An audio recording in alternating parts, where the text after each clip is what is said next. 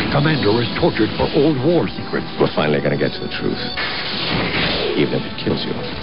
And there's only one way out. I'm taking you bastards with me! On the next Babylon 5. You have transmissions holding. Patch incoming signal. Full audio and video decode. Purple files accessed. What you are about to see has never been shown to anyone outside the Grey Council.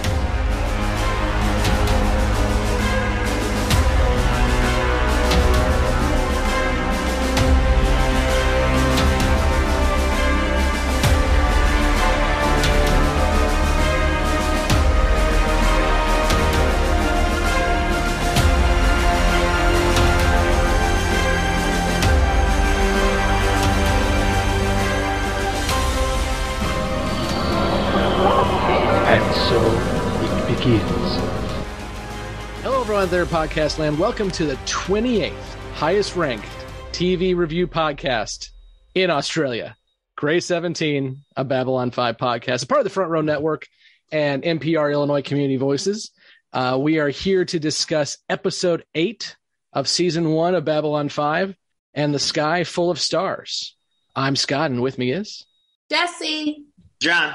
Emily. Kevin. Good night, legends. it's Mike. I'm Justin. Andrew. Nicole. And Blake. For those who are just joining us for the first time, we are a group of both newbies and longtime watchers of Babylon 5. And we are going to do two different segments. The first one, our newbies and the long term fans are going to talk about the show spoiler free, not talking about anything that comes after this episode. And then after that, we will jettison the newbies and talk spoilers in the Beyond the Rim segment, which, as you can imagine, for those who have watched Babylon 5 before, this is going to be a long Beyond the Rim. So prepare yourselves. Let's go ahead and do some first impressions of And the Sky Full of Stars. And I'm going to go with the hater of the haters first.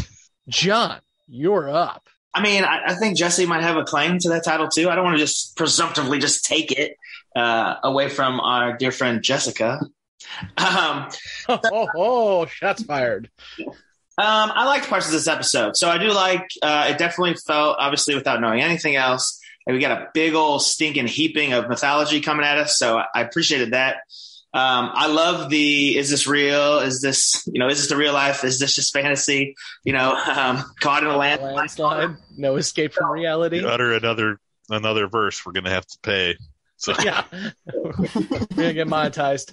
Not with our one subscriber and our ninety nine cents. Um, but so I always enjoy that trope, and so I was glad that they uh, kicked it a little bit. So um, there were some stuff that obviously, I, listen, I'll open my can of hate and you know talk about some of the crazy CGI, the hilariously bad action, but um, I do like that that uh, that storytelling trope of the you know is this real? Is this not real? Um, you know, at the end, you know, kind of throwing it like, is are we still in? I think you know we might be in your head, we might be not. Like so, um, I enjoyed that aspect of it. So um, I actually was higher on this episode than I initially thought I would be. It's the first kind of half. I was like, I don't, I don't really know what this is going on, but um, I'll also say it, and I'll start the shady count. Delenn, shady as shit.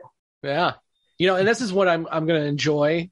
I, have told you guys there, there comes a time in season one where uh, our good friend uh, JMS starts tapping the gas, and he is tapping the gas, which means some of the questions you guys have been asking for the first eight episodes start getting answered here on out. Now there'll be some we'll, we'll ask questions that you won't get answers for a long while, but he realizes when he's writing this thing that you know he's got to keep the audience coming along for the ride, so he's got to answer some questions, and he's starting to do that now.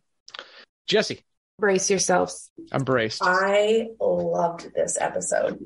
Um, this is exactly this is exactly what I've been asking for for the last uh, it feels like two and a half years of my life. So it's exactly um, what I wanted. And you know, when it started into uh, into the process where he was in his mind, I was like, "This is cool," and this is starting to answer so many of the questions. So this is exactly um, what I wanted, and this has nothing to do with anybody saying that I'm a negative Nancy. Um, I really thoroughly enjoyed it. So, uh, Jonathan Franklin Keneally can uh, be quiet over there. Emily, let's go to you next. Um, So my first impression was the opening scene when they're coming through the little security checkpoint because they've just gotten to the station and you just see it briefly, but you can see the black gloves on the guy. And I was like, oh, another episode of Psi Corps fuckery. What do they have for us this one? And yeah, this one was actually really interesting. It has to be Psi Corps, even though they didn't say it's Psi Corps. There were the gloves. There was Garibaldi reading the newspaper, and it said like Psi Corps doing something with like uh, supporting the vice president. I can't remember the headline, but it was about Psi Corps and acting inappropriately in politics. So I was like, oh, they're behind all this. Like, they don't tell us that, but they tell us that. And yeah, I thought it was really good. And we get a little more information about Delenn, but uh, I still want to know more about her. I want to know what happened and if she went through like a big change in like what she was doing or what she believed. So yeah, it was it was really exciting. So the headlines we got for this one were uh, in sports: zero G tennis results inside. Uh, we also got is there something living in hyperspace? Question mark. We have Home Guard leader convicted. Jacob Lester found guilty in attack on Minbari embassy. Then we have Narn settle Ragesh 3 controversy. EA president promises balanced budget in 2260. Uh, Psi Corps in election tr- tangle. Did Psi Corps violate its charter by endorsing the vice president, which is what Emily was referring to? San Diego still considered too radioactive for occupancy. A new study published by Earth Force Nuclear uh, Regulatory Office declares San Diego, struck by an American state's first act of nuclear terrorism over 100 years ago, still uninhabitable for the next 300 years. Then we Oh, have special section. Yeah, no Padres. Copyright trial continues on Boost, Book Zap Flap. Books download directly into Brain. Who owns them? Question mark. And then so forth and so on. There's more. There is a lot more. Such raw. That's such raw. You mentioned the in- interspecies mating. I don't see the interspecies mating on my It's list. definitely there. Pros on and there. cons of interspecies mating. Marsupials. Um, oh, my Come god. again? I can't read it. Definitely. Thank you, Mike. I've derailed. we also get to learn a little bit more about the doctor when he has the conversation with Delenn and she asks him about what he did with all his notes on xenobiology that they were going to use to try to create, you know, viruses or whatever biotech um, that would be unethical. And he was like, yeah, I burned them. so I just thought that was nice. Get a little more information about him since we haven't really gotten a whole lot just yet. hmm Let's go to Kevin next. Well, I enjoyed seeing uh, Judson Scott and uh, Christopher Neame in this episode. Um, Judson Scott was uh, famously in uh, Star Trek Two, and Christopher Neame has been around quite a bit in uh, in different roles in in the '90s, especially. Um, but yeah, the the plot certainly thickens with with this episode, and you get answers to a lot of questions that uh, uh, make things a lot more more interesting. I really uh, like a lot of the flashbacks and some of the the pretty good acting by uh, Jeffrey O'Hare in this. Uh, I thought I thought he I thought he really shined in this episode. hmm Mike. This is one of the first episodes where, like, as I review my notes, I don't feel like there's anything that I've written down about necessarily the like campiness or or cheesiness of the show. Like, it's a solid episode from start to end with a really decent sci-fi premise and a lot of world building and payoff all the way back to the the Gathering opening movie. Um, just really good all all around. Um, as others have mentioned, I think the acting is really a highlight of this one. Um, everybody, Sinclair did an amazing job acting. I think the, the two uh, knight one and knight two, as they are referred to in the credits, uh, in particular, uh, Christopher Neame, I called the discount Frasier Crane, uh, gets inside Sinclair's head and just hams it up like crazy. But at the same time, he's initially giving me this like big ringmaster energy, but then dials it back to a place that's like he is he is a snake in human form and he is like hardcore like thinks something is up and wants to get to the bottom of it. It's very believable. That whole end gig about like maybe we're both still inside. He played a fantastic crazy person and left us with a big dangling question. Um it was a genuinely like awesome episode. You know, and I'll give him even more credit. Um, he actually got this role two or three days before principal production filming began. And that's because the original person who was going to play Knight Two, Walter Koenig, got sick. So Walter got uh, slid over to another character, which obviously was filmed later, which was Bester. And so they called this guy in. And not only did he, uh, as you just said, do a really good job, but he did so in record time and figuring out this part and figuring out these lines, which is really good. Andrew. Oh, also really like this episode. I don't know if it was just me, but Knight 2 kind of reminded me of like a Wish.com Brad Dourif. Like I was trying so hard not to look it up and see if it was him or not because I didn't want to ruin it in case it wasn't Brad Dourif, and it wasn't, so I'm sad. But no, other than that, um, Delenn is still sus. As far as first impressions, yeah, that's all I got. Uh, I'm going to be the old man here for a minute. Are you saying sus? Is that what you're saying? Okay, I'm just making sure. I I, I know what that me to means. appeal to Yeah, I, I know what that means. Is just I, I was trying to make sure that's what you were saying because either you were saying Dylan sucks or Dylan is sus.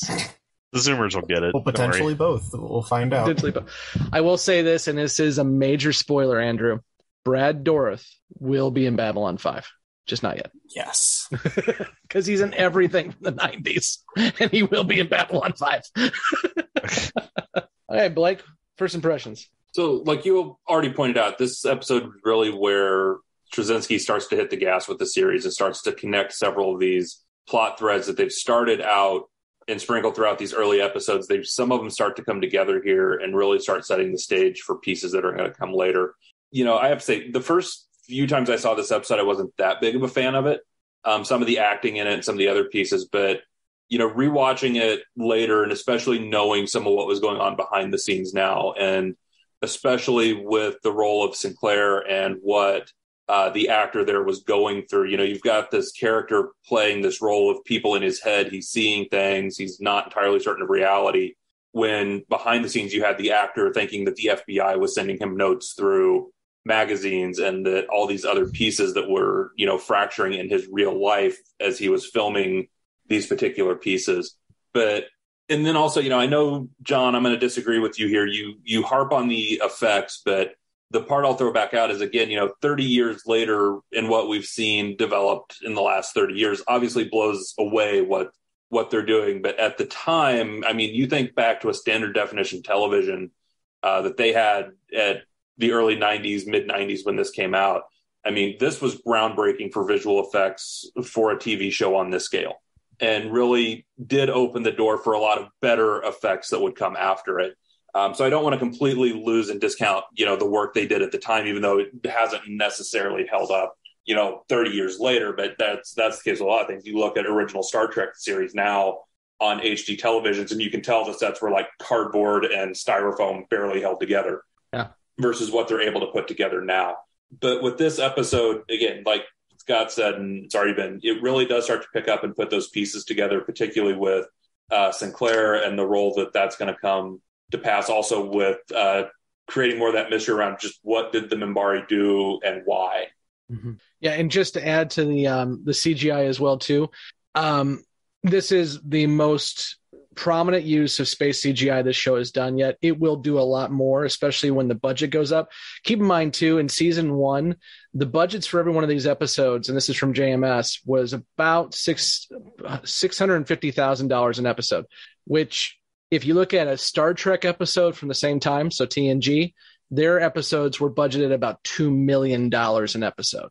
So it's not even close to the same. Where and by season three and four, where Babylon Five is doing a lot with CGI, which we will get to, uh, they were only at a budget of about eight hundred and twenty-five thousand dollars per episode.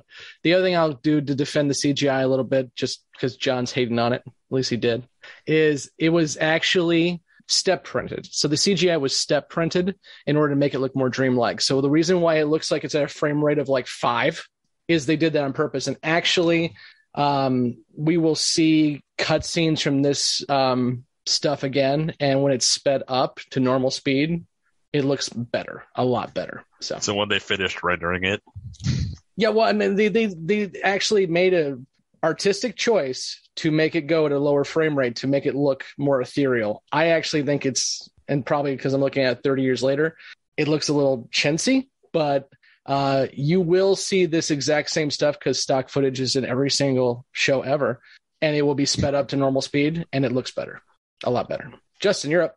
Well, I guess the first thing I wrote down, other than Hans and Franz showing up, and I apologize, I guess we need to refer to people properly as Knight One and Knight Two. Well, you didn't mispronounce Hans and Franz, so we're okay. Right. Yeah. That's a that's a win.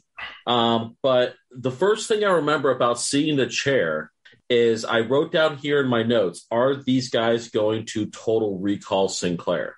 And I guess that's kind of what happened. I wasn't too far off from the truth. Um, because I thought kind of the whole um the whole VR kind of mind um, invasiveness within Sinclair was actually a pretty interesting aspect that we really haven't seen before. And then just kind of, I, you know, completely agree with what was said earlier about like a lot of, I really kind of like went back and watched uh, two or three times the newspaper reading when Garibaldi was sitting there reading the newspaper. And I almost really think that Garibaldi was like reading that equivalency of like the National Enquirer.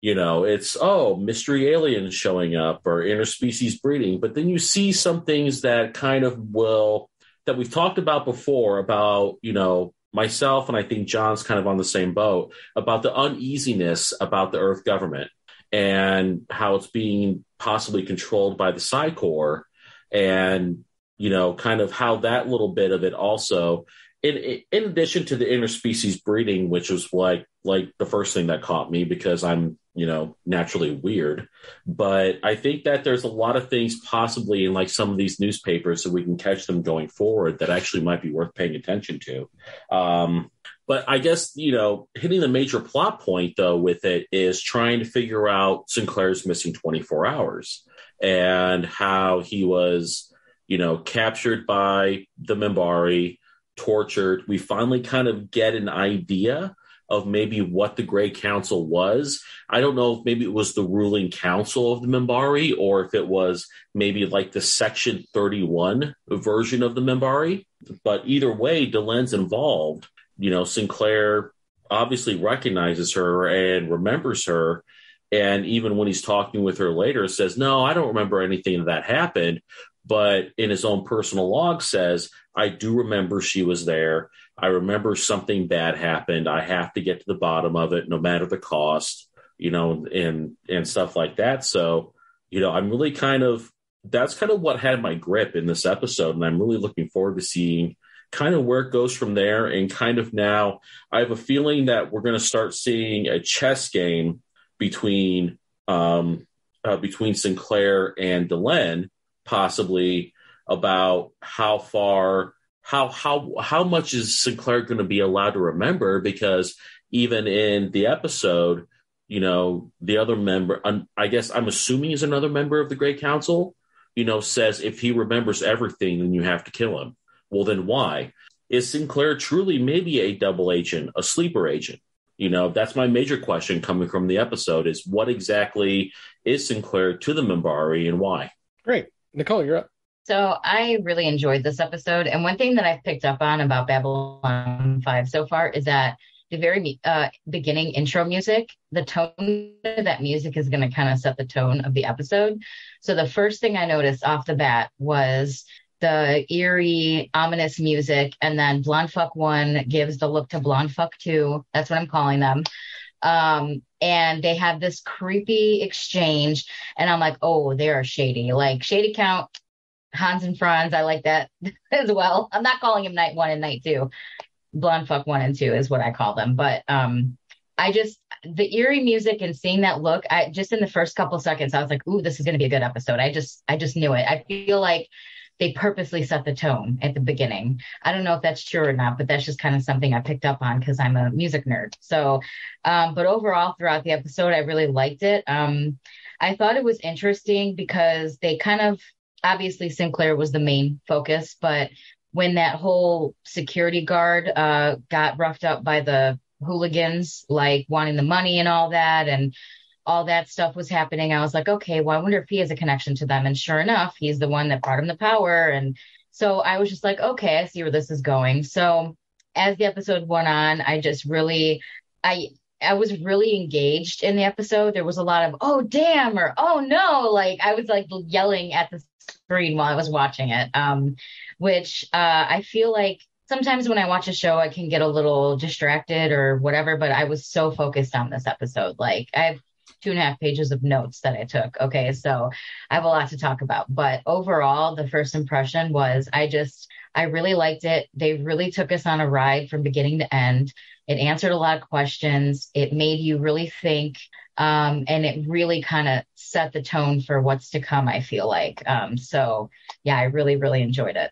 Real quick, just to touch on before we switch over to Jessi, because um, we talked we talked about this in Beyond the Rim on one of the earlier episodes because it was brought up about the music. Oh, oh do we get to actually bring something up from Beyond the Rim to the newbies? Exactly. we can we can finally give them something from Beyond the Rim. Uh, you know, you commented on the music, Nicole, and that's one of the things we talked about to answer an earlier question um, around some of the music and the production choices. The composer actually did try to set the music that he did for the show to the themes in the episode and to what was going to happen to try to make the music integrate into the thing rather than just being more random noises and song choices. So that that was a deliberate production point. Yeah. So um, Born of the Purple definitely was softcore porn, and now this is not. So I think that's the one where we discussed the. It was. It was. The, the softcore, softcore porn. porn. music was uh, Born of the Purple.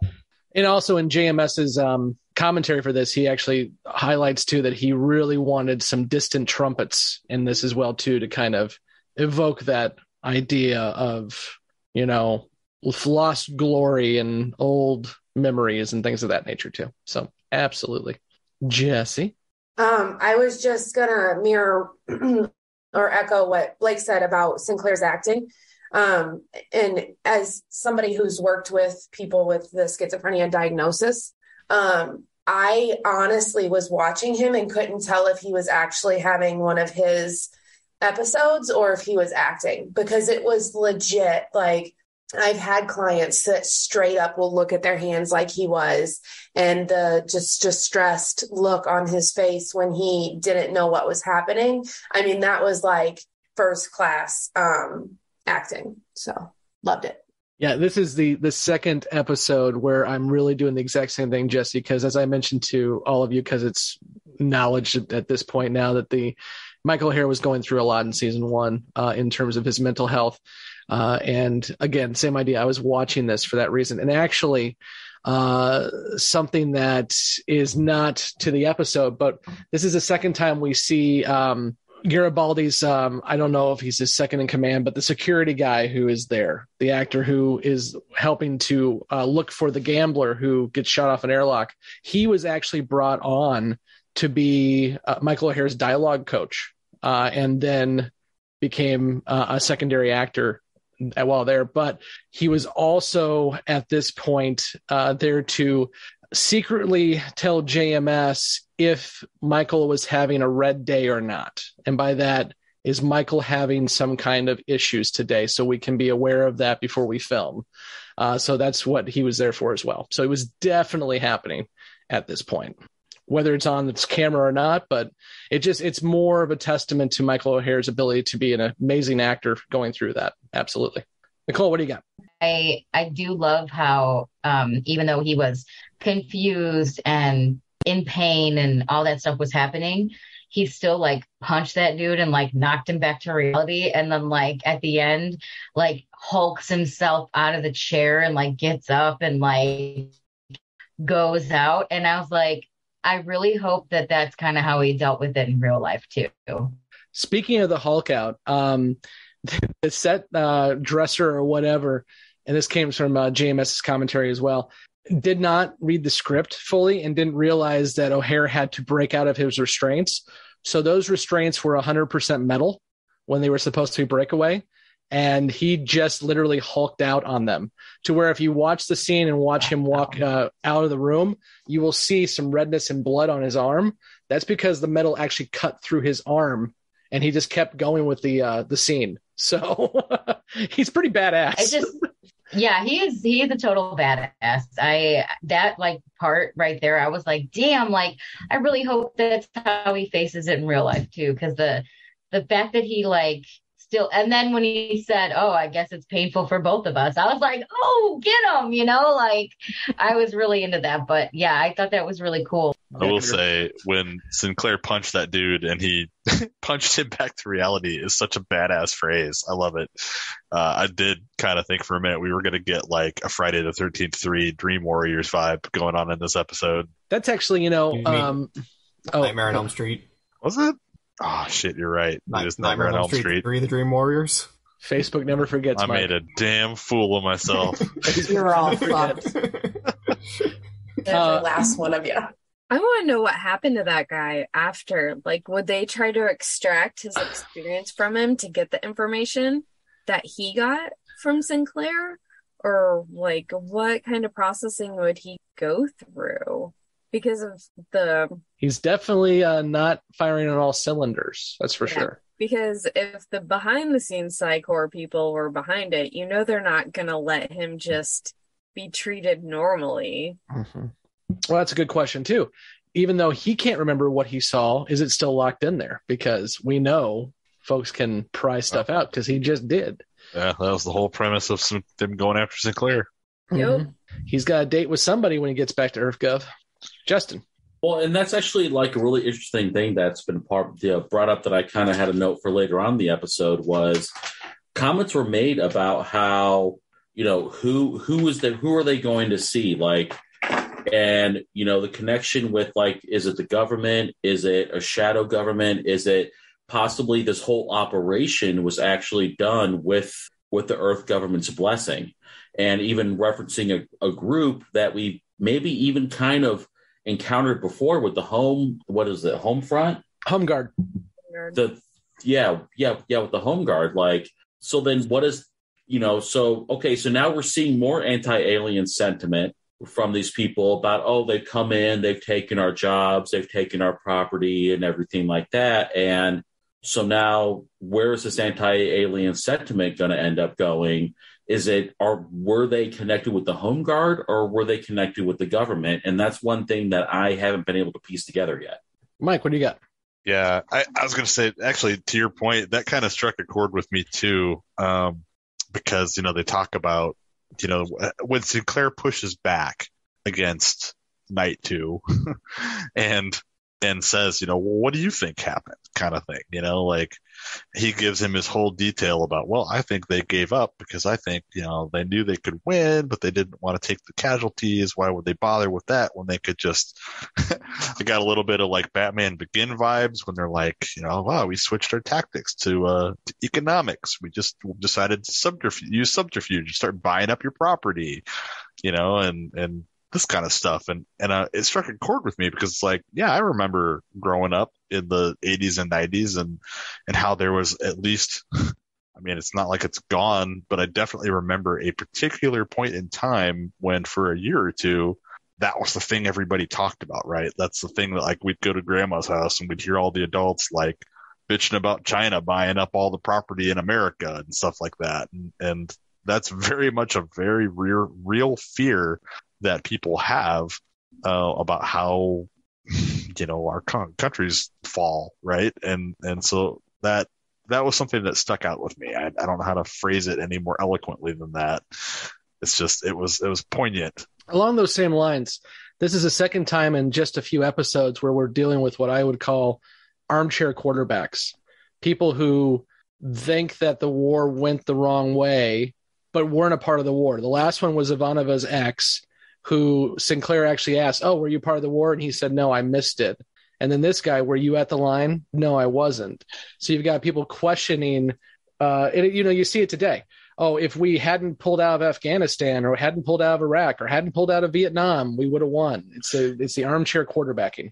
yeah there's a real a real arrogance that comes along with that mindset you know you have sinclair who has basically said like it bothers him it haunts him and it haunts other people like him that the minbari surrendered and he doesn't get why because from his perspective they won flat out no question humanity was done for if that if if the minbari wanted it that way and on the other side we've got this joker who's like oh we were gonna beat them no no question you know like They saw our defenses and got scared. I'm like, uh, they were on. They, The Battle of the Line was at Earth. What defenses did you have left? I mean, and even he was kind of admitting the fact that he thought we were going to lose. He just thought we were going to put up more of a fight than we were realistically probably going to put up. John, what do you got?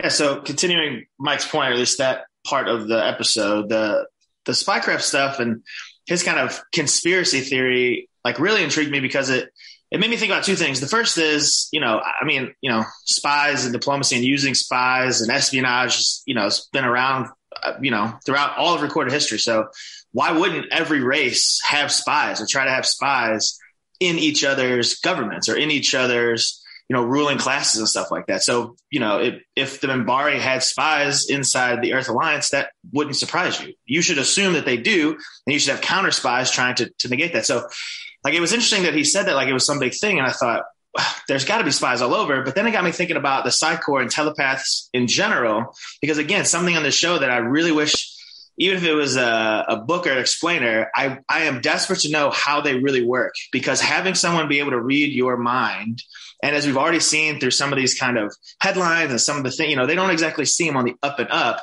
is a huge advantage in any given situation. So when it comes to diplomacy, when it comes to, you know, all these interspecies interactions, having someone who can just read your mind is incredible. I still can't get over the fact that in this universe, they have meetings, business meetings, and they have a telepath, and someone says something, and they go, "Yeah," and they go, "Yeah, they're telling the truth."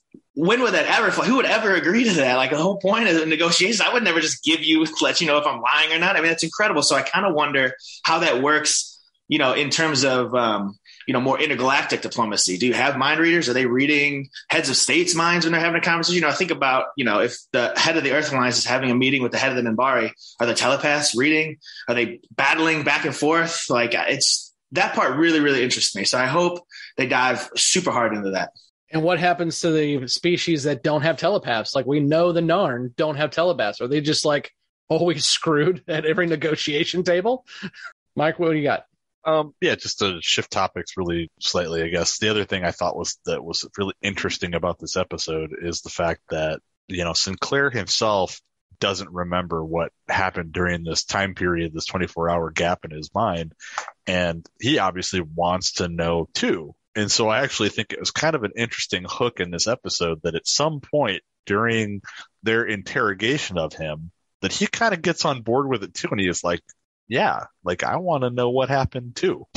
you know, and so I want to dive into those memories and see what's up. And then I think it's really interesting the way that he decides to play it cool at the end of the episode when Delenn asks him what he remembers, and he very definitely does remember her being there. So, um, looking forward to seeing, you know, where that goes. Yeah, and I I really do like when we have villains, and these are obviously villains of the week, like most TV shows have. But I like when we have villains that at least come at it where they're somewhat right. you know, obviously something did happen. Obviously Sinclair was involved in it. So what's up? So at least these these villains aren't just twirling their mustaches. They're they're here for a reason. Kevin, what do you got? I think the end was was really interesting. This is definitely an episode that's uh, not not high on uh, government ethics because on one hand you've got a possible you know Earth cover up, and on the other hand you've got you know a, a Minbari uh, something uh, ordering Delenn that if she gets any inkling that uh, Sinclair remembers anything to take him out. So it was very smart of him to to play it cool and not not let on at all that he knows anything. Um, but yeah, it, it definitely leads to a, a more uh, sinister conclusion as far as what's going on with Minbari, but it's you know what we know so far of Minbari technology, it's uh, pretty ridiculous that anyone would think that they took a look at Earth's defenses and said, maybe not. Mm-hmm. Nicole, what do you got? Two two things, kind of to go off of something that Mike said. I thought it was really cool how Sinclair kind of did flip the script towards the end. He's like, "Yeah, I do want to know," and he kind of went in on the memory. Um, but another thing I thought was interesting is that he's having these memories of the Minbari doing something to him. And then at the end, when Delenn approaches him, he even says she was the only thing that calmed him. And then when the blonde fuck too went to go shoot her, he shot him. So he, even though he was in this state of kind of mania and he didn't really know what was happening, he still had like the wherewithal to like not let her get killed and like defend her almost. Um, which I don't know if that's necessarily what he was doing or not, but um, something clicked in his mind with her and he was thinking, oh, you know, like that. I just thought that was kind of interesting how, you know, he was kind of being tormented by these people in his memories and, you know, zapped with that staff that guy had and all that. And then he sees one and you think he would, I thought, oh no, he's going to go after Delenn or shoot her or something. But actually he kind of saved her and she snapped him out of the the state of like mania he was in. So I thought that was really interesting because even though something happened there and she was directed to kill him, if he remembers, they have a bond that I feel like is really special and like really different and maybe that they're not supposed to have in a way. Not like a romantic thing, but like a more of like a almost like they they love each other in a way, but not like like a platonic way, I guess is what I was Hey. trying to say. He ate the cherry tomato. Yeah, You they're married. They're married. That's right. Emily, what do you got? Um, yeah, kind of what Nicole said. Um, I, in another episode, you know, when Delenn was talking to her friend and the friend asked about everything she gave up.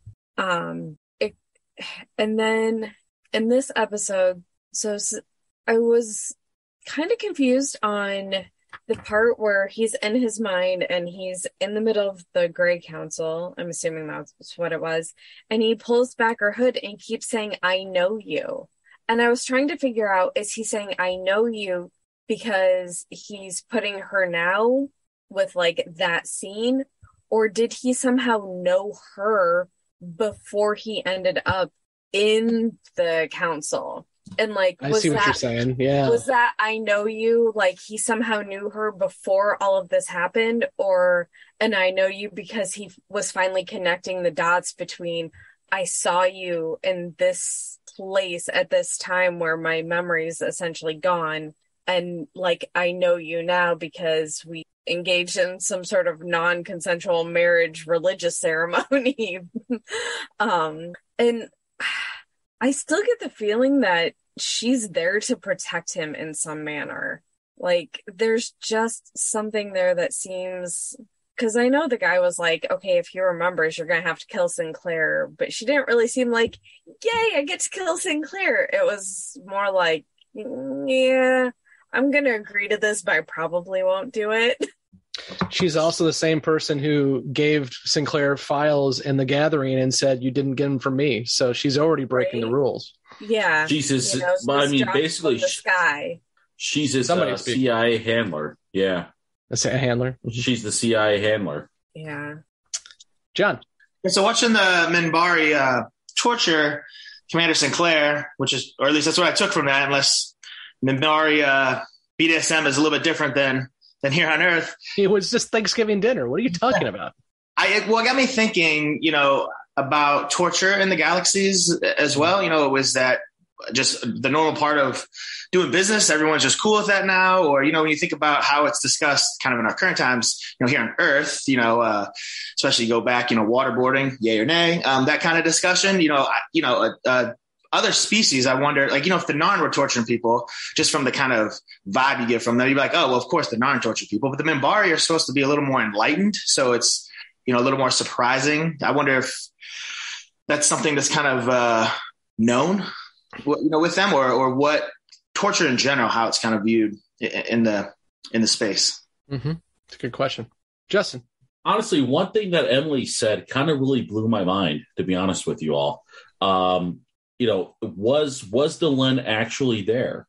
Honestly, like I thought she was, and I I kind of read into the whole thing earlier to where, okay, this is our first glimpse of the Grey Council and everything like that.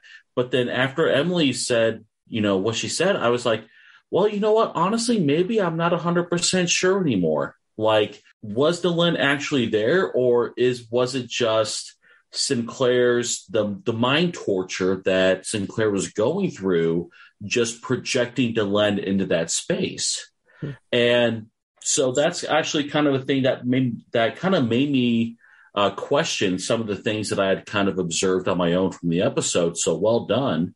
Um, but the last thing I kind of have, which is kind of not related, uh, to anything that we've been talking about. Is the is is the structure with the Minbari is that is that a bone structure or is that a fancy hat? No, that is that is their anatomy. That is That is their structure. anatomy. Okay. Much like a tusk of an elephant. Same idea. Okay, fair enough. That was like one thing I really hadn't thought about before. Well, I would say to your uh, question about the memory of Delenn, there is a reason why in scientific circles, uh, eyewitness evidence is the worst kind of evidence you can ever bring to court because our memories are crap. Nicole, what do you got? I was just going to say one thing that I did notice in that scene um, that Justin and Emily and I were kind of mentioning before was um, when he kept saying, I know you, I know you, when he removed the cloth and looked at her. Um, it went on for a little bit, and then the other guy with the staff zapped him after that. So I almost wonder if maybe she actually really was there because she was in the Grey Council, we know. And I mm-hmm. assume that's the Grey Council. I also assume, which I guess I could leave for the questions, but the guy with the staff who zapped him, I think is the guy who told her that, you know, he has to be killed if he remembers. But when he when she removed when he removed the cloth and he kept saying, I know you, I know you, it was like ongoing.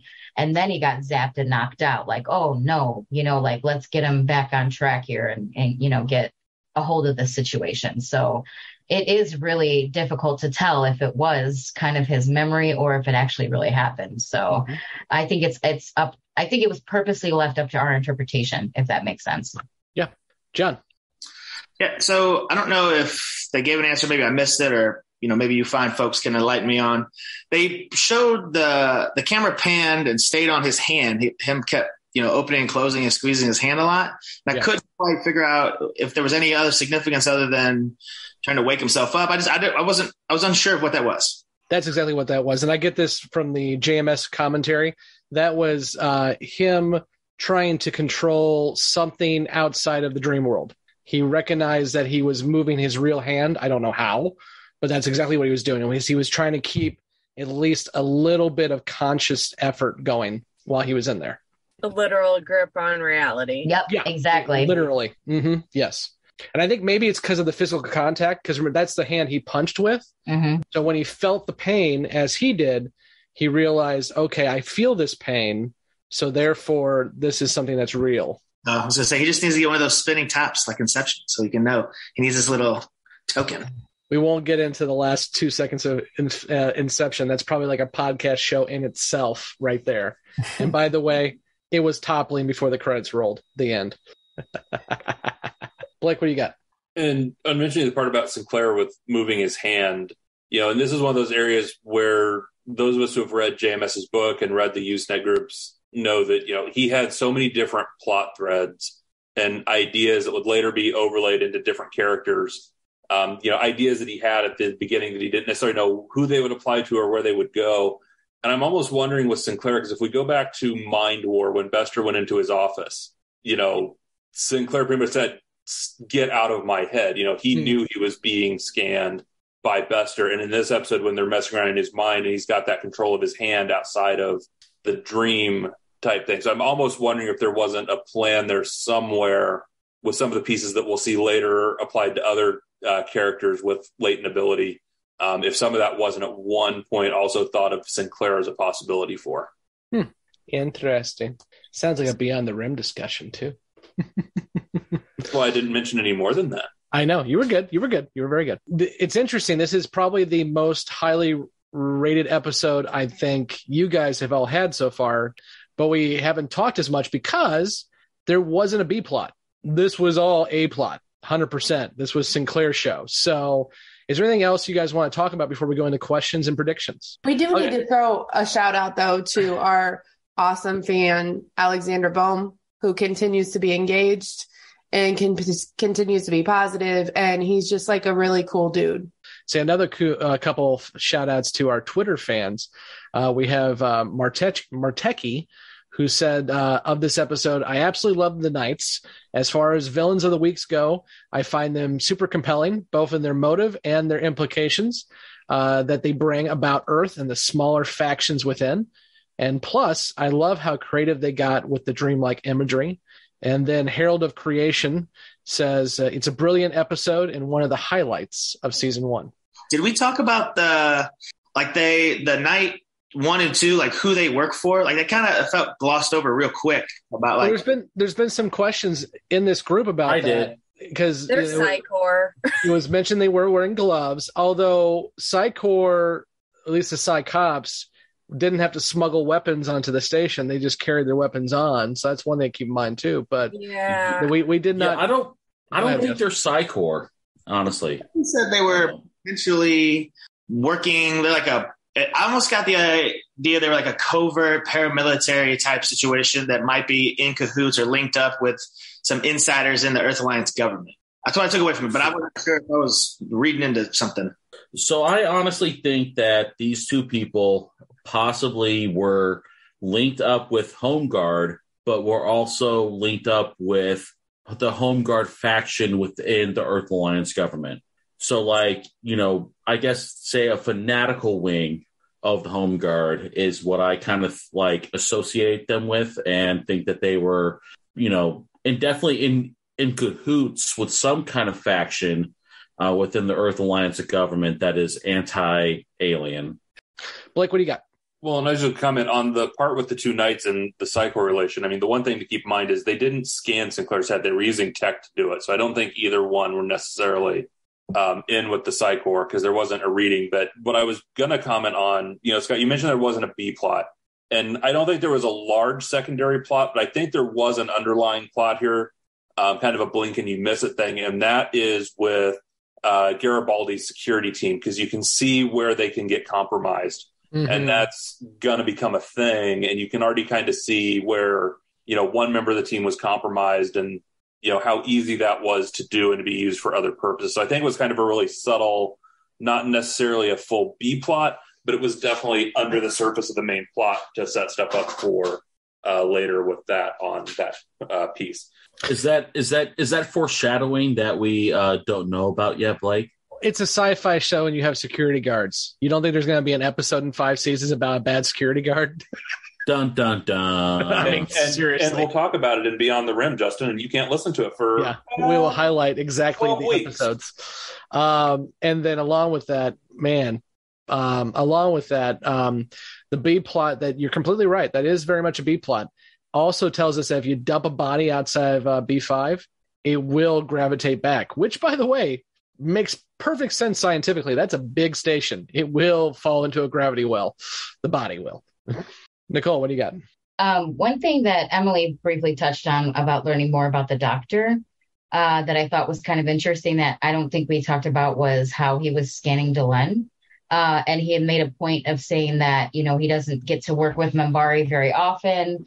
It was really nice to be able to scan a healthy Minbari so he knows how to help them. Uh, so I thought that was kind of interesting and something to talk about. Um, just something small to bring up. Yeah, we found out that Franklin and I, Emily, I think you mentioned Franklin as well too.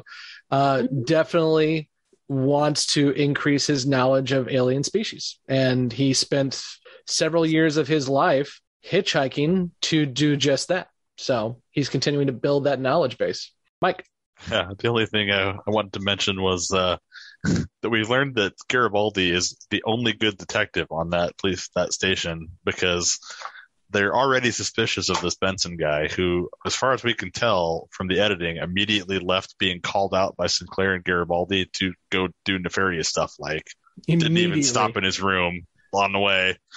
Uh, but then later, you know, Garibaldi's assistant comes up to him and he's like, "Yeah, check Benson out. Uh, you know, his financial records look fine.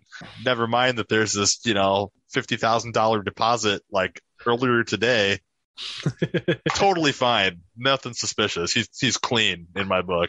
And he had time to look into that while the station commander was missing, but whatever. Yes. yeah, and that Uh, was uh, and that was 15k as John pointed out in the chat. yeah, it was 15K. 15. But yes, uh, and, and Inflation's then a bitch. I do want to mention too. I mean, um, as far as the whole, who are these tech guys or the knight guys? You know, their titles were kind of interesting. Knight one and knight two sort of implies some kind of weird cult like thing. Although They cosplay on the afternoons. They LARP. yeah, I mean, well, we know the KKK does all kinds of weird clowny stuff too that people would laugh And they're usually they blonde, it. blue-eyed, right? Um, yeah.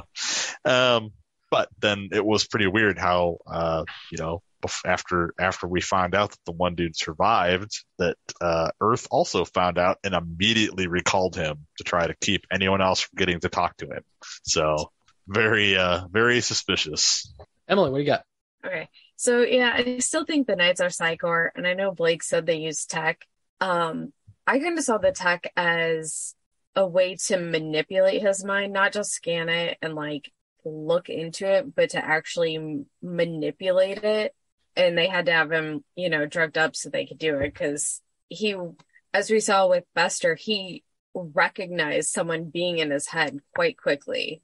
So they couldn't use like their normal scanning methods. They would have to do something else. I still think they were some branch of Psi Corps.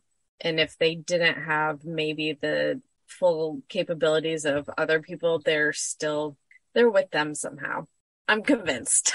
She's convinced, folks. and I will accept being completely wrong on this. well, we will say if you are wrong or right as soon as we tell you to leave. The blonde bitches are either Psi Corps, Home Guard, something else, or all of the above.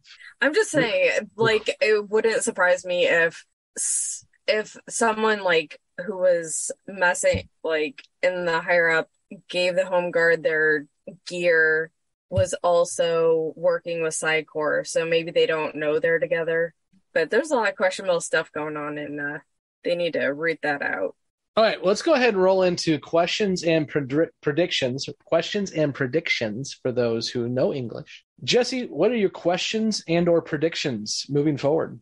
Um, I don't. I guess my question is, I really want to know because I'm not, hopefully, not the dumb one of the group. I have a feeling I know who it is, but I don't feel like it's me.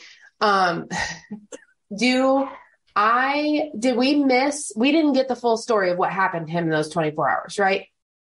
You have not, because even he at the end of the episode says, "I have to remember. I have to figure this." Sure. out. Okay. So I I didn't feel like we got the whole thing, but like a lot happened. Um, and I I just want to know. I want to know what it was. Um, I want to know what happened. Well, Jessi, I, I will tell you right now because I intend to do it.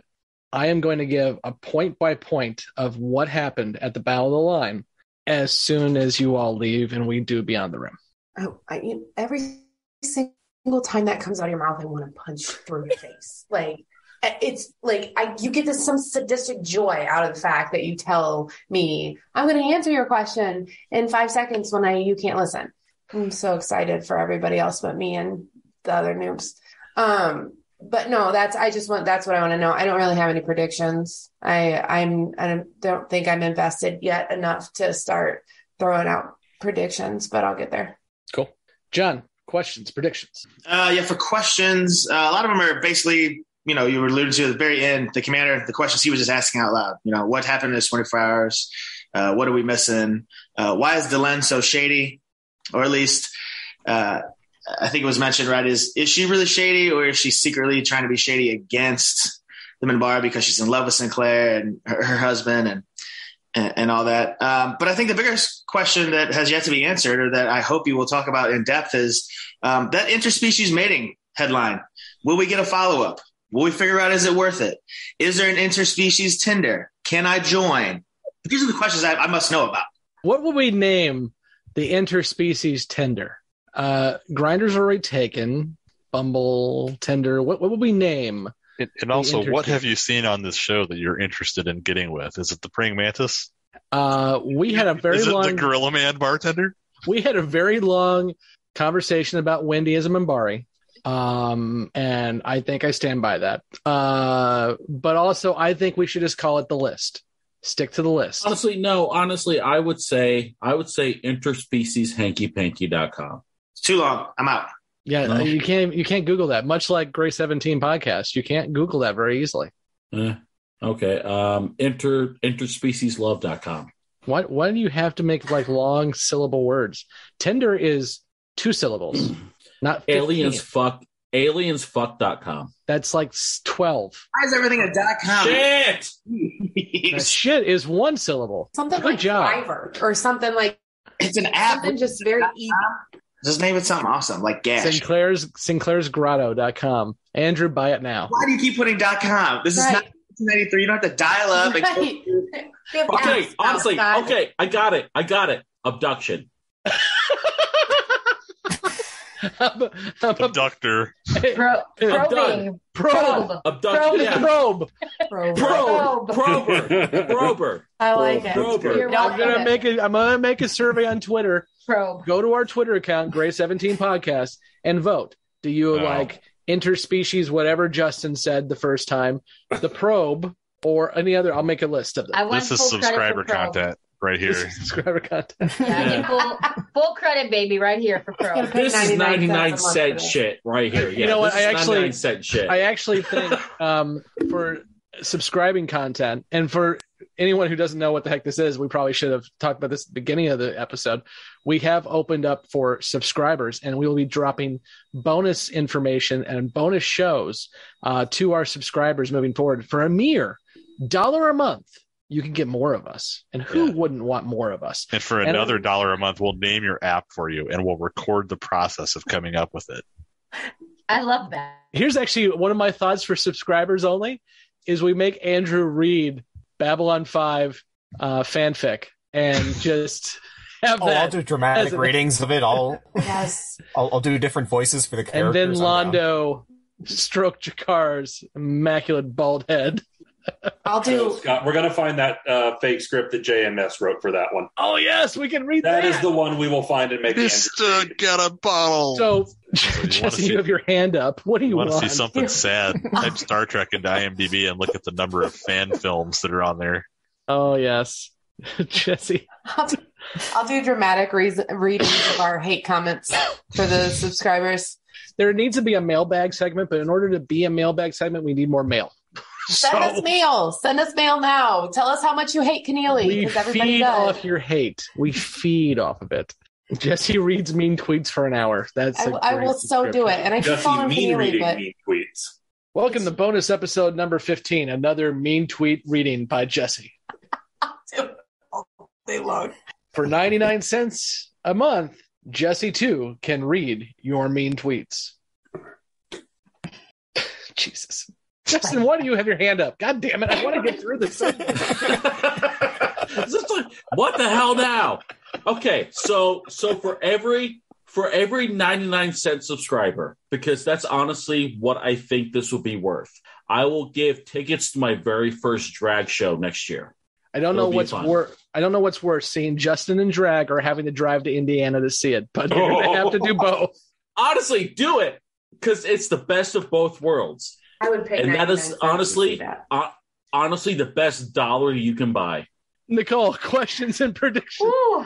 All right. So, um, my prediction is is that we're gonna see some more conflict or issues that happen from this situation with his mind getting interrogated and like all that stuff and these memories coming back. I feel like we're gonna see more of that. Um, but a couple questions I guess I had were, um, well, another prediction. If it comes to the point where he remembers, I don't think Delenn is going to kill him. Uh, that is a prediction. I there's no way I think she would kill him. I think they have too much of a bond. Um, and then question wise, um, I guess are there going to be more issues or conflicts with people trying to get you know his memories or maybe go after him again in the future about that 24 hours? Um, and then just more, um, you know, are there going to be more um, issues with? I think somebody brought up the security, uh, like what's going to happen there, and then also is this going to put a strain on the relationship between Delenn and Sinclair in any way? So There's been a dramatic lack of shipping, but I guess I'll take that as shipping of Delenn and Sinclair, as we already discussed. Andrew, what do you got? Uh, no predictions this time. Um, my question though is, what must Sinclair never find out? Okay, that's all I got. Cool. I guess the biggest questions I have are a lot of the same other people's questions. Like, honestly, is is Sinclair a double agent? You know, what is what is his role within the whole thing? And honestly, like, I don't still know the grid, the nature of the Grey Council. Where are they? Are they the ruling class of the Minbari, or are they like a Section Thirty One type um, black ops section within within the Minbari culture. So like those are the two kind of questions I have. As far as predictions go, um, really, I don't. I still don't trust the Earth government. I still really don't know what it's about. It still seems very, you know, my prediction for Earth is actually very poor right now because I have I have this bad feeling that something's going to happen that's going to actually like trigger even more of an anti-alien sentiment and even a lot of anti-alien violence. Emily, Uh, one of my questions is Does Sinclair know that he's married to Delenn? And how does she feel about his relationship with, um, what was her name? Was it Carolyn, the new one? oh, Catherine Sagai, Sakai, Yeah, it was Catherine. Sakai, So I kind of want to know how Delenn feels about that. massive But- jealousy. Wants to throw her on an airlock so she can gravitate around the station. But really, what I want to know is did Sinclair know Delenn before he was essentially captured by the Minbari? Like, is I want because that I know you just seem really vague, and I I just want to know like her connection to him has just seemed so intense and so strong that feels like she kn- that she obviously knows way more about him and i just i want to know more about that relationship Sounds good. So we're going to go ahead and end it there for our newbies. And as I mentioned earlier, this is going to be a lengthy beyond the rim, I think. I mean, don't expect like hours, but we have a lot to talk about because this is obviously a big lore episode. In fact, this is, I would argue, the first big lore episode. But before we get into Beyond the Rim, we'll say goodbye to our newbies because they can't hear what we're about to say. So until next week, when we talk about Deathwalker, dun dun dun. I have been Scott, and with me, as always, is Jessi. John. emily Kevin. Mike. I'm Justin. Andrew. Nicole. And Blake. Nicole fucked it up. I did it. On, I did it on purpose. I was like, I'm usually the cheerful one, so now I'm gonna sound all, bleh, you know, just to be, just be a dick. See what I, hate this started? Jeez, I'm sorry. I hate, I hate, I hate every single one of you except Nicole and Emily. All of Just you. wait. What did I Jessi- do? Jessi, I, I didn't do anything. Thank you for listening to Grey 17, a Babylon 5 podcast. You can find all the places to listen to this podcast and links to our social media accounts at anchor.fm slash grey17 podcast. We want to hear from you, so please join the discussion on Facebook and Twitter. Be sure to subscribe and leave a review. Grey 17 is a part of the Front Row Network and NPR Illinois Community Voices. You can find all the Front Row shows at thefrontrownetwork.com. Grey 17 is not affiliated with, and this podcast has not been prepared, approved, or licensed by Warner Brothers or any other owners of the Babylon 5 copyright. All audio clips included in this podcast are the intellectual property of their respective copyright holders. They are included here for the purpose of review, and no infringement is intended. The opening and closing Babylon 5 themes are available from Falling Matter on YouTube. And what's out there? The rim. And beyond that? The truth.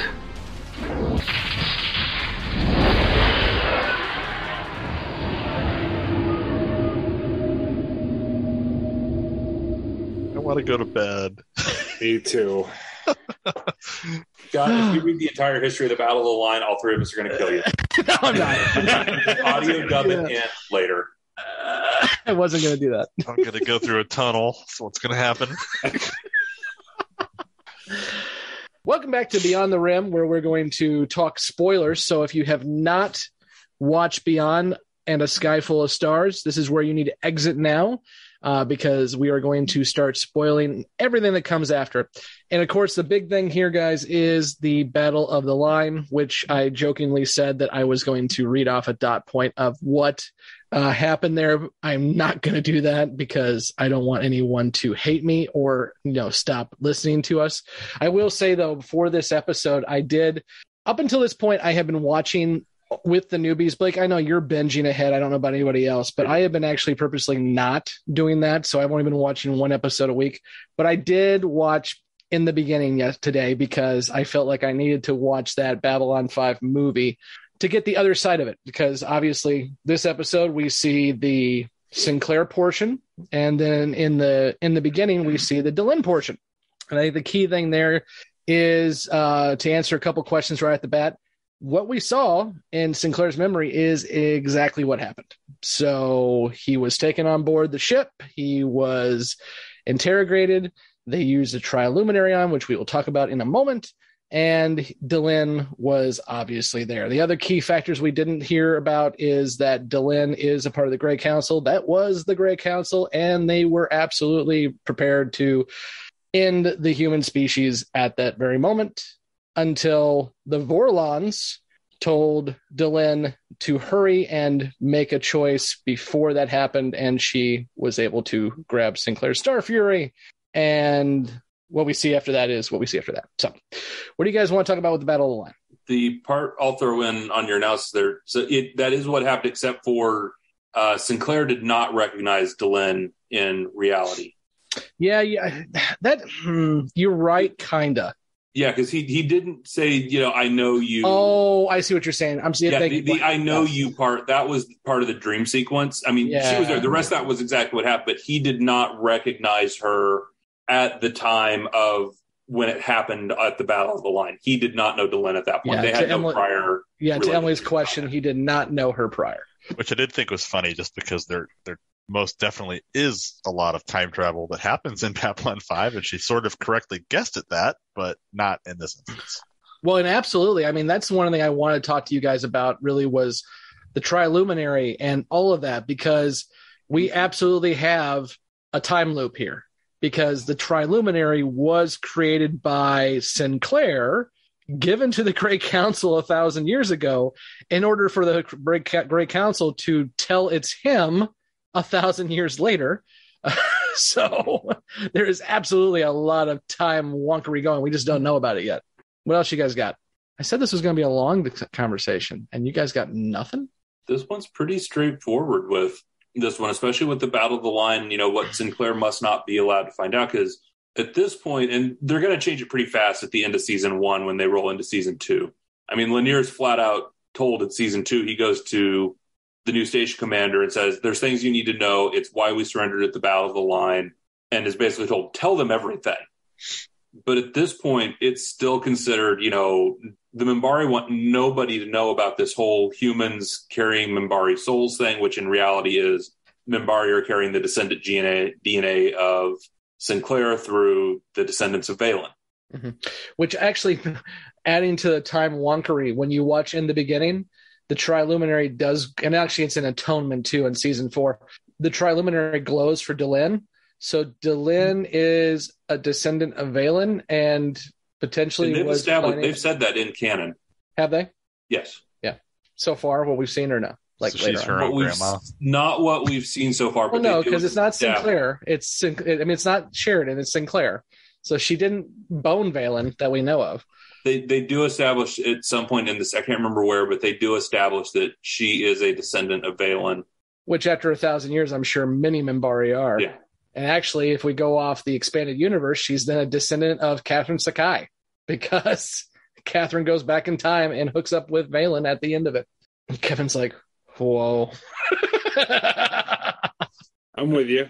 the other thing I wanted to talk about real quick is we do we did talk about the bumbling security, uh, and it's not bumbling uh, is my f- theory on this, and this is not something that is actually said in canon, but we do know that our good friend Jack is going to be uh, a, a turncoat and is going to take out Garibaldi at the end of this season. And I try to in, in my head canon, I put in there that every time Jack does something really freaking stupid, it's because he's meant to. Like the first time we see Jack in Mind War, he just lets Bester go straight to the leaders of the station without any problem. And now, as Mike pointed out, he doesn't know how to check a credit card to make sure that there's no weird stuff on it. So I, I think Jack is always, as Andrew would say, sus. I'm old. Oh, I thought that was kind of a it was a good story to throw in there because it's a very to me it's like a very law and ordery type of story about uh you know an officer of law enforcement getting compromised because of his own vices being taken advantage of Mhm. and they managed to to compress that into a Babylon 5 sci-fi story uh you know B plot which you know JMS Smart. used to write for Murder She Wrote and Jake and the Fat Man, so it all works out. Oh, it's Regarding- interesting actually, because I think uh, wasn't it Christopher Neame was in an episode of Murder She Wrote too, I believe. I'm pretty sure that's where they linked up because like he called him at the last minute to get him on because Walter Koenig was ready to uh, ready to do that act and could not do it, which is amazing that we got that chance because we got Bester, and if it was Walter Koenig as Knight Two, the intention was never to have Knight Two come back, and Knight Two doesn't come back, so that would have been a one and done for Mister Koenig. Kevin, you had some. when when you see the uh, other Minbari at the end of the episode, I'm going to call him Cataract Guy. Yeah, Um, whenever they have the triluminary on their forehead, that does mean they're a member of Grey Council, correct? Yeah, and that was kind was- of okay.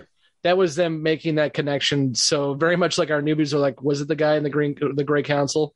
I think that was back in the '90s. That was them showing, hey, these guys are connected because they both have the gray little thing. Yeah, Delenn had the same tattoo with Mhm. she Right. pulled her cloak Yeah. back in the flash. So I guess to to I think it was Emily who asked if if uh, Delenn was protecting Sinclair. I think the answer to that's pretty clearly yes.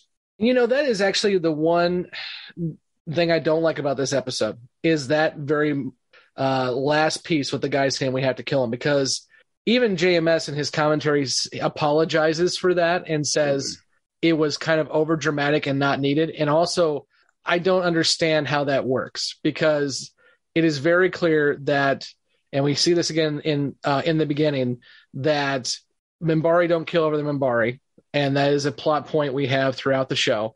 They know that Sinclair is carrying Valen's DNA, therefore he is Minbari. So the whole "you have to kill him" is there to make it dramatic, but it makes absolutely no sense in the canon because depending on where we're at, either he is a descendant of Valen or he's Valen himself. Either way, you ain't gonna kill him. They should have said, "We'll wipe his mind." That would make That would be much better. I agree. The, the area where I'll disagree with you, and what we didn't establish in here directly, but I think from the appearance, because the way they did the makeup, is the person talking to the at the end was from the Warrior cast. Okay. And the Warrior cast doesn't give a damn. is in season two when Delenn gets booted off the Grey Council and they replace her with Neroon. Mm-hmm. You know, Neroon goes on this whole tirade about had you told us the real reason why we surrendered at the Battle of the Line, we never would have done it.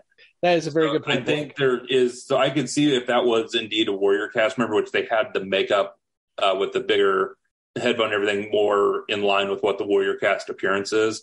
That if he was Warrior cast, that he would say something like that. Mhm. Now, if it was religious cast, then no, I'd agree with you about the mind wipe or whatever. Okay. But I'll give you that one. Plot point fixed. Thirty years later, you fixed it. Good job. you're welcome. It only took season two to do it. What else we got? Anything? uh, Did, Kevin, you were taking notes. Did we have any other questions, predictions that we're missing? You know, Justin again commented on Earth and the trajectory it's headed. He's got a hard on for Earth being Nazis. And and the thing is, and you and I have both read JMS's book. Yes. And you know, I'm I'm gonna pick up your torch here and kind of harp on the book for a minute. Please. Is you know, JMS openly admitted he wrote many of his own stories into bits and pieces of these. And you read that book and you read his family's Nazi connections across multiple fronts. And you know what his uh, what his father was involved in, what his grandmother and step grandfather were involved in, Mm-hmm. and through these various pieces, um, it's really easy to see where he got the inspiration to write some of these roles because he really did. And we're going to see it more later in the series. There are stories from his childhood and things he recounts in his book that almost directly translate into scenes that we'll see later in this series. And Blake, I'm glad you you got a chance to read that. So it's not just me harping on this, but it is a really good autobiography. It's called It. Becoming Superman. And if you I read it in three days. yeah, it, it Becoming Superman. It came out a few years ago, and it is you you- you think okay, it's an autobiography about a writer in TV and movies, but it is simply astonishing that he survived through the through being five years old, let alone made it to be a functioning human being, which he even points out to Blake to your point where he, he puts a lot of himself in these uh, characters. In the commentary for this one, he points out that Um, it is kind of hard for him uh, to write about Sinclair's nightmares because, as he puts it, the circus comes to town a lot for JMS. And uh, he even says, if uh, you wonder why I'm on Twitter some nights really early in the morning, it's because the circus is in town and this is what I do to keep it at bay. So the man has been through a lot of trauma, and we're going to see a lot of that trauma worked out on this show. What must Sinclair never find out? That he has Valen DNA, which we know actually is he is Valen. The Minbari don't know that yet. The Vorlons do. Mhm. And that's the other thing I think I, I alluded to a little bit. Yeah, on that ship, which we don't know until we get actually to in the beginning. We don't even know that in the show at all. I don't believe. Is there are two uh, Vorlons, Kosh one and Kosh two, on that ship, and they are first working with Dukhat, and then they are working with Lennan, who is the head of the Rangers, and they are working with Delenn. And they are very much in the know of what's going on, and they know exactly how it's supposed to play out because a thousand years ago, Jeff Sinclair told them how it plays out, and they are making sure it works like clockwork. Uh, did they men in black his ass and erase his memory? Uh, selectively, yes. Yeah, well, and it almost fully until he was able to be jogged. Yeah. Mm-hmm. What is the Grey Council? The the leading the leading Yeah, that is yeah, that's a good one. Kevin, go ahead. You were going to say it. the the the leading um, organizational government uh, council for the Minbari people. Which But again, I can see the Section 31 connection there too, Yeah. because that was the other comparison where they like the Section 31 type thing. And I would almost say they're both the way the Minbari government's played out, because you know they don't meet on the homeworld. That was commented on um, in season two about you know the Grey Council's floated amongst the stars. They're in their little ship floating around doing their thing. Mhm. You know, they're not even really on the home world. It's the Grey Council's this secret thing. So I, I can see it being, but it is the government. But I can definitely see where that other side of it is too. And And even back- within what we see in the Grey Council, the Delenn goes and does her own shit, and other members go and do their own shit all the time. Yeah, well, that one guy was just hanging out in Delenn's Lynn's quarters for no apparent reason. Yeah. But uh, again, with the timey wimey stuff, the Great Council is created by Jeffrey Sinclair. He creates it when he goes back in time with B4. He grabs three worker class members, three religious cast members, and three warrior cast members and says, You are the council. Congrats. Although, wasn't there an episode they were talking about where there were no worker cast members in the in the Grey Council at this point in time?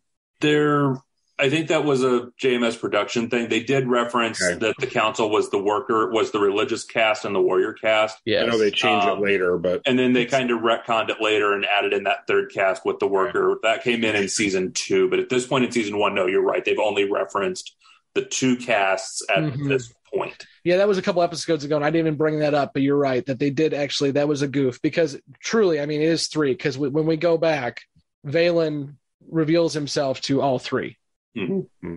and that's why the Minbari are really hard up on triangles. They love their triangles. uh, prediction from Justin: Earth is on a bad trajectory towards violence and hatred. Uh, yes. Maybe.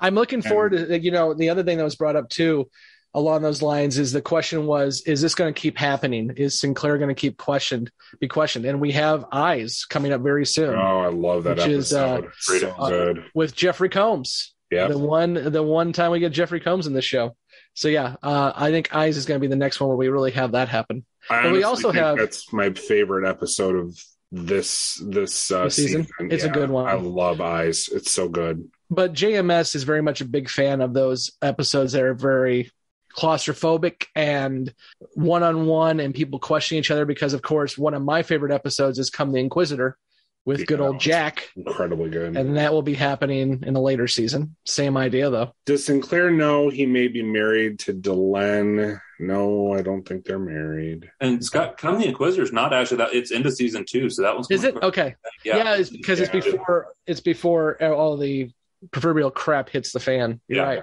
I love that episode. Just remember me as Jack.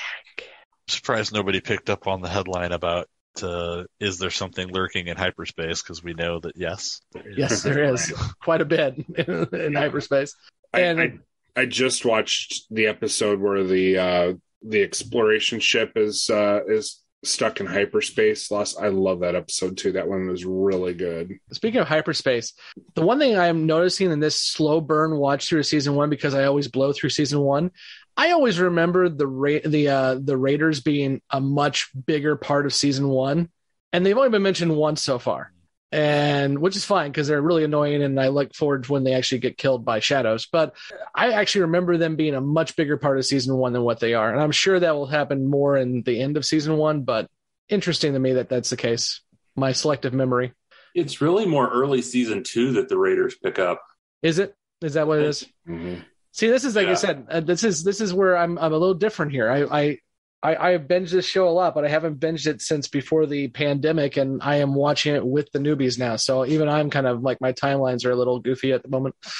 Did Delenn know Sinclair before his capture on the Minbari warship? No. Uh, Dylan didn't even know what humans looked like. right. I think that's it of questions and predictions. Cool. Anything else you guys want to add? I'm really excited to see that this is the first episode where I think we had unanimous. We liked it. Um, even John climbed off the head chain, probably because Ivan Ivanova wasn't there. But They, you know, they never mentioned Londo wasn't in it either. One thing I didn't mention when the newbies were around, but I'll say it now. I think it's really interesting how they did some character development with Sinclair, showing that he does find it very difficult not to harbor very bad feelings towards the Minbari. Mm-hmm. I thought that was really interesting because you don't get ever get that impression until he says that in this episode. wanted to strangle every Minbari you saw. Which can you blame him? No, not at all. I mean, it, it's Yeah. clear that anyone at the Battle of the Line probably has some, you know, PTSD, and he clearly is not uh, immune to that. And I bet you he wants to strangle anyone who comes up to him and questions the war either. I just I get I, I think that's being played up really well is the idea again, I brought this up already, but the veterans coming home and then people trying to pretend they're generals and know exactly what they would have done and how they would have fixed things. And I'm sure it's frustrating as hell. Armchair generals. Mm-hmm.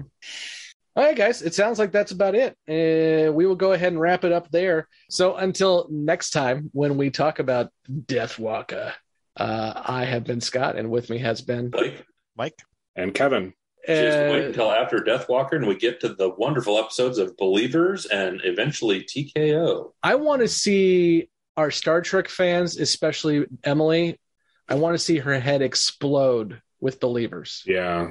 I think that's going to be a fun one. We were outnumbered and outgunned. We never had a chance. You say we could have won, but you weren't there. You didn't see them. When I looked at those ships, I. I didn't just see my death. I saw the death of the whole damn human race. Then why did they surrender? I don't know.